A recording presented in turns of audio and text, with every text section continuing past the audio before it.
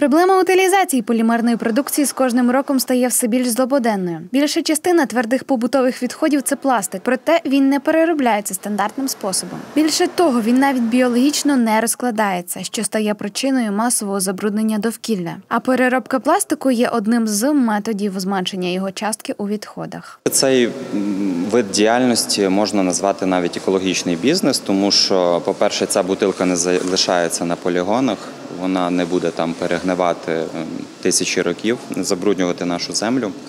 Тобто навіть, навіть на рівні е, держави це пов- повинно дотуватися. Такі підприємці повинні отримувати дотації. Ну, скажімо так, спонукати, відкривати такі переробні лінії і е, збільшувати екологічність нашого краю. Бізнес переробки пластикових відходів вигідний, проте мало хто знає, що займатися цим можуть навіть дрібні підприємства. Один з варіантів застосування вторинної сировини, а саме полімерних матеріалів, виробництво поліефірних волокон. Закуповуємо сировину від різних підприємств, які заготовують її, заздалегідь сортують по кол- кольорам. І далі ми е, ці тюки одержуємо та на своєму заводі, міні-заводі переробляємо в чистий флекс, митий чистий флекс, і далі реалізуємо на заводи, які з цього цієї сировини вже роблять е, ем, поліефірне волокно. Щоб надати нове життя пластику, розповідають підприємці, машина робить чималу роботу та потребує відповідної допомоги від людини. Дана лінія вона е, предназначена для е, миття, дроблення, відділення етикетки, колечка і, кришечки від е, пляшки, тому що то різний вид пластику. От на, на, на даному етапі це так на, на, називаємий е, типорозбиватель.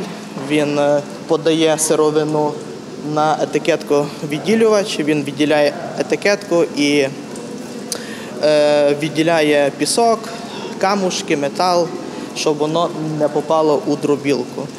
Е, потім йде лінія, е, стоїть дві, дві, дві людини, відсортовують е, різні кольори. Потім йде е, дроб, дроблення, ванна фло, флотації. На, на ванні фло, фло, флотації відділяється от та кришечка і, кулечка етикетка. Потім йде етап го- го- го- горячої мийки з ви- з використанням каустичної соди. Потім йде етап сушки і вигрузка у бункер готової продукції. Проте роботу підприємства можна було б значно полегшити, якби споживачі були більш обізнані та національний рівень переробки пластику не був зумовлений складністю сортування. А на місцевому рівні, розповідає пан Юрій, практично відсутні сортування та збір пет-продукту.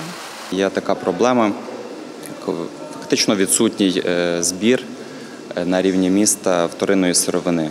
Зразу безпосередньо, щоб люди сортували. Е, Бутилка звозиться вся загальним сміттям на полігон, там її вже відсортовують, тобто вона виходить брудна і тим самим ускладнює от, процеси на такій переробці. Пан Юрій додає, що такий вид діяльності робить наш край не тільки екологічнішим, а ще й дає змогу створити нові робочі місця. Дуже би було е, добре, якби ну, на місцевому рівні е, і на інших рівнях мотивували збір бутилки, щоб тим самим простити життя таким підприємцям. І я думаю, якщо почнеться це від влади, то і будуть відкриватись нові підприємства не тільки з переробки пет-пляшки, а це буде і е, інший пластик, метали, картон, бумага і навіть скло. Тобто це буде створювати нові робочі місця і в подальшому розвивати нашу економіку. Відповідно, якби такий бізнес набрав великих оборотів актуальності, Закарпаття стало б чистішим, а жителі щасливішими та трохи багатшими.